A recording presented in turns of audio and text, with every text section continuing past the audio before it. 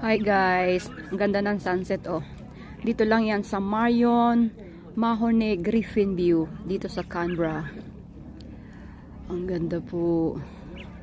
Nagko-coffee ako kasi ang lamig. Sunset.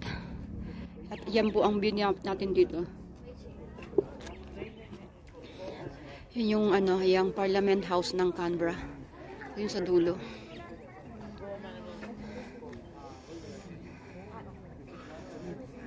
Tapos, doon naman sa left side, nandun naman yung airport ng Canberra.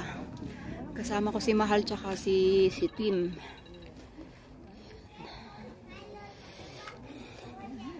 Sobrang ganda po.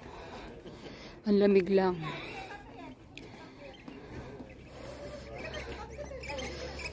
Ooh.